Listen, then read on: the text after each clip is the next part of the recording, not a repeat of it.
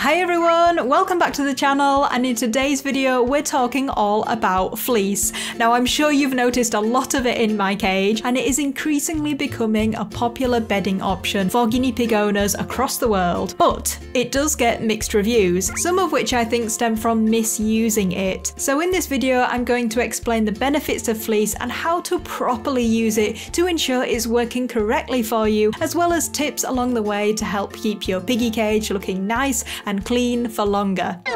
And whilst freshly swept up fleece looks very nice and pleasing to the eye, I'm gonna be honest in this video and show you how dirty my cage really gets and the level of cleaning it really needs. So this is the cage after 12 hours of no cleaning whatsoever. I've been resisting it and yes, there's a lot of poops, but it's a manageable amount. I would normally have swept up at some point earlier today, but we are due a full change of the liner. So what better way to explain what fleece is all all about whilst getting this cage clean.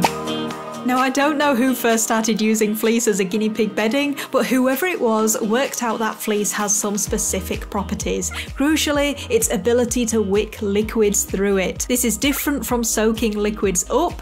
Wicking means moisture passes right through the fleece into an absorbent layer below, meaning the top of the fleece stays dry. And this is how other products like Vet Bed work. Any fleece that is 100% polyester will be able to work this way, as long as it's not being coated with something that makes it repel water. More on that later. Now there's a lot of reasons in favour of fleece, but my personal reasons for using it boil down to cage size and the way it looks. So if you imagine this cage, which by the way is 75 centimetres wide by 2 metres long, I do get asked that a lot. If you imagine it all covered in newspaper and hay, or all wood shavings, or all paper based bedding, it's just not economical for me to replace so much area every single week or every other week. I already produce a lot of waste from daily cleaning of their litter tray, so I dread to think how much my bin would be overflowing if I use natural bedding across the whole of this cage. And it's worth pointing out here that a large cage is essential and there's no way I'm compromising on that. Fleece liners are reusable and washable, so they solve that problem. And in my experience, they do last many years. My own liners, which I made myself, are six years old and still going strong strong. Now the other reason for me is that guinea pigs genuinely enjoy the fleece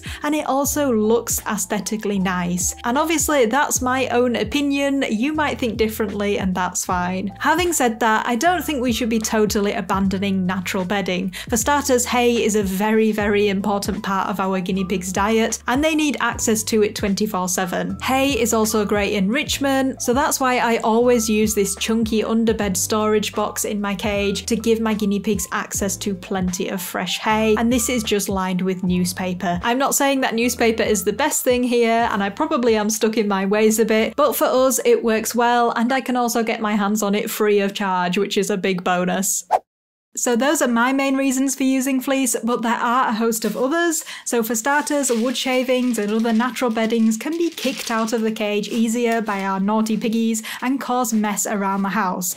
However, as you well know from my videos, hay also does this and we can't not give our guinea pigs hay. There is an argument that fleece could be more sustainable. However, it is polyester, so there are some concerns around microplastics and the continued use of detergents when washing it. But ultimately, fleece fleece is a product we use again and again, whilst with the other products we need to buy them new every time. And because of this, a big advantage is lower costs. Although you might have more startup costs with fleece, especially if you purchase very well made, quite expensive fleece liners, which you don't have to do by the way, we will cover that later. Either way though, over time you will be saving money with fleece. That has to be the most satisfying bit right there, just popping in the new liner. It's so easy and quick.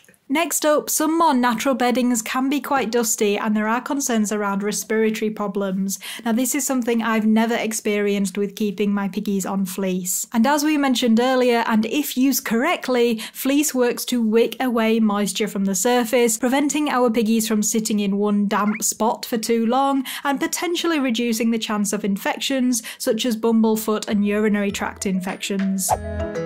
Now, like anything, it can't all be good. There are some potential downsides of using fleece, and one I hear about a lot is burrowing piggies. Naughty! This is when certain piggies dig under and constantly mess up their fleece. Now, I've never had this happen myself, but I do wonder that if you inadvertently give them the idea of getting under the fleece, they might develop the habit of doing it once they work it out for themselves. So be careful when you're cleaning and changing out the liners and make sure you don't encourage it. You can also get liners that come up and over the side of the cage and then you can use clips to hold them down to prevent any naughty piggies digging at it. Secondly is smell. Again, I've not noticed this myself and in my opinion, smells originate from not cleaning up poops and pee often enough or not taking out the poop bag as I call it. You lot can't all get in there at once.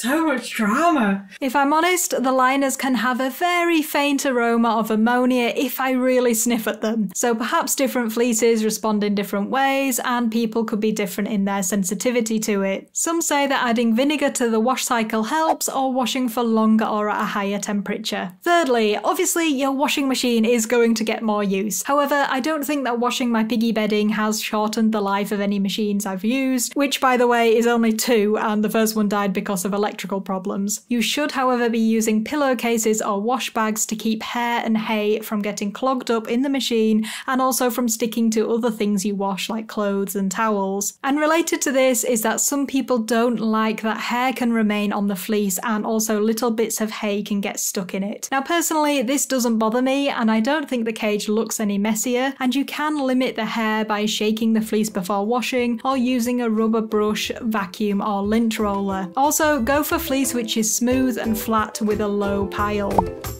On to the key question, which is how to use fleece properly. And it's really important to understand that it's not just about fleece itself. It must be used with an absorbent layer underneath it to be effective at wicking away moisture. Also, you can have a waterproof layer on the bottom, but it's not essential as long as your cage is mostly watertight. That absorbent material then, it can be something as simple as old towels that you put down first before laying your fleece throw on top, or it might be a mattress protector which you can sew to the fleece and in specially made liners, you might find they use materials like terry toweling or Zorb. And this is why you don't always have to pay a lot of money to try fleece. I used to use towels with cheap fleece throws tucked under them for many years before I finally made my own liners. Nowadays, my liners are made out of a fleece throw cut to size, a polyester mattress protector, and a waterproof mattress protector, one of those types with a fused layer of terry toweling. The Amazon storefront links below have some updated examples of exactly the kind of product I bought to make my liners with. And I'll also pop links down in the description to my tutorial videos for how to make liners and waterproof pads. Some people experience a problem with their fleece not wicking in the very beginning, which seems to be more of a US thing as here in the UK all the fleece throws I've bought from places like Primark and B&M have been just fine. It usually takes a few washes for the fleece to start wicking if it doesn't already when you buy it.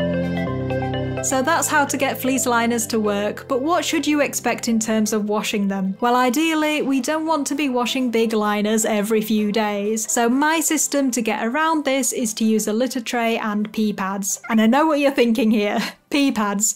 Isn't that just putting more fleece on top of fleece? Well, yes, but they do make keeping the cage clean much easier. This is because guinea pigs usually toilet in specific areas and you don't want to be stuck washing the whole liner just because a few select areas get really dirty and peed on lots. I find it easier to use waterproof pads in these hot spots and change them out every two or three days when I see they are getting dirty. Okay, it's day two after changing the liner and some of these pads are starting to look a bit dirty, especially in popular places like underneath the hammock. So these ones come out and get replaced by fresh new ones. Ultimately, they are easier to wash and replace with clean ones rather than changing the whole liner. And I said I would be honest, it means I only actually change out and wash my full liner once every two and a half weeks, which goes to show how effective the pads are. But the other thing that helps me do this is the litter tray. As I said, it gives my piggies somewhere to enjoy their loose hay in a more natural setting, and as a result, they also do a lot of their toileting in there. So, of course, the question I get all the time is what about them peeing on the hay that they're eating? Isn't it unhygienic and unhealthy? Well, no, because this litter tray is cleaned out every single day and topped up throughout the day. I've never had any health problems in my piggies that I've linked to the litter tray. They poop in their food bowl, they pee when they're out on the lawn, they make a bed out of their cage mate's poops. You get the idea. Our piggies will pick around soiled food, so as long as we take measures to keep things as hygienic as possible, it's fine for them. A few people have asked me to recommend pre-made liners. Now because I've made my own liners, I haven't tested that many, although I have used the paw inspired liners before for floor time and lap time, and they seem nice and easy to sweep, although I have seen reviews that they can go weird and hard after being washed a lot. The Guinea Dad liners are very popular and always get good reviews, and the Kavee liners are extremely thick and cozy looking. I'm gonna add these and some other recommended ones to my Amazon storefront. Again, the links are down in the description below. So that's the lowdown on fleece. I hope you found this video useful guys and do leave a comment below. Let me know what your preferred bedding is and whether you're a fan of fleece or not. Thanks so much for watching everyone and we'll catch you in the next one. Bye bye!